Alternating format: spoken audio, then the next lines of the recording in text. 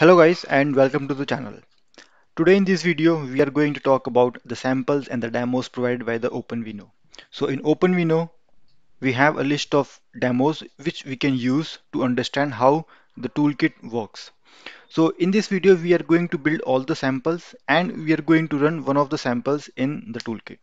Before starting the process let me first tell you where all the samples are provided. So all this let's first go into the OpenVINO installation directory Intel Software Tools, OpenVINO, Deployment Tools, Inference Engine, Samples.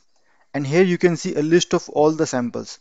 All these samples are in C++, but if you are interested in Python samples, you can go inside this directory Python samples and there you will have all the Python samples.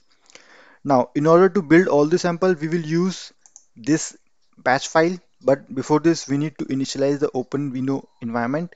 So I'll go back to the directory bin and I will use cmd and will run the setup file.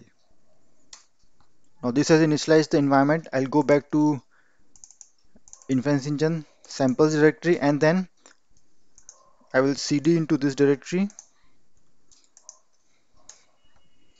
Okay. Now here at this point you can build all the samples provided in this uh, directory but this is going to take a lot of time. So what we'll do is we will only build or let's just build all the samples provided and then we'll choose one of the uh, application to run. So to do this, we need to run the build sample solutions msvc.bat file and this is going to take some time so let's just wait for it to complete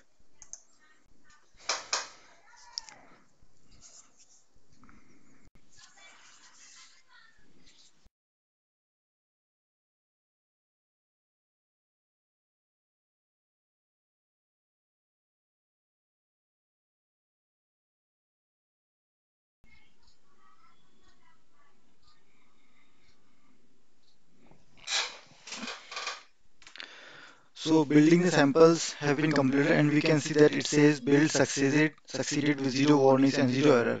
Now let's let's navigate to the directory where all the binaries have been saved. So in that case we'll go into the documents, Intel, OpenVINO, Inference Engine, um, Intel 64, release and here you can see all the EXEs are present. Now we can use one of these EXEs to run any uh, uh, demo we need. So for this, this video we are going to run the pedestrian tracker demo which is this particular EXE. In order to run this pedestrian tracker demo you, we first need to navigate into this directory. So let me copy this path and uh, cd. Okay so here we are. Uh, let's first run this uh, exe with minus h command this will give us the list of arguments it requires so as you can see here it needs minus i parameter which is basically a path to a video file or folders but again we'll, we'll consider the video file. Uh, it needs minus mdet which is passed to the pedestrian detection detail model file and it needs the xml file. And it needs minus mred which is the re-identification model file. Um, these are the three important uh, parameters we need. And apart from this we also need minus d det which is basically uh, where we will run these uh, model files. For example on CPU, GPU, FPGA, MYRIAD, HeteroVar so this is optional. So I think by default it will consider CPU again you can also mention these things. Now for the model files I have already downloaded the model files uh, from the model downloader which I've explained in my previous video. So please go and watch that video. I have model files with me here. I will copy the model files. Um, I need person detection and I need person re-identification and I will use one of these test video. I will copy this and will paste this in the release directory. And now we can simply run our demo. So I'll mention pedestrian tracker demo exe minus i which is passed to the video file minus m det path to the pedestrian tracker sorry person detection. So I'll mention person detection and we need to mention the XML file. Minus MRE ID is the person re-identification model and we need XML file. And you can mention minus D DET as CPU or GPU depending upon which hardware you are on. So I'll mention CPU I think this is optional so you can also ignore this thing. Now let's try to run this example. Okay, so as you can see, this test video has started, and uh, this particular video I've taken from one of the Intel's uh, demo. I'll put the link of this in the description.